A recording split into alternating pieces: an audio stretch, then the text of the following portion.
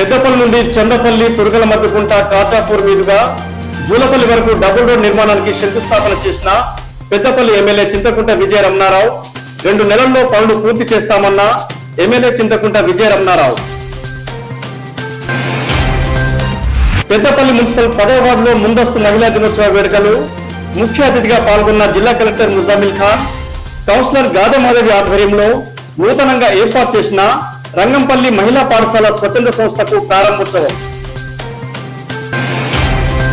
పెద్దపల్లిలో బీజేపీ ఆధ్వర్యంలో నారీశక్తి వందన్ అభియాన్ కార్యక్రమం ప్రధానమంత్రి నరేంద్ర మోడీ సందేశాన్ని వర్చువల్గా తిలకించిన మహిళలు.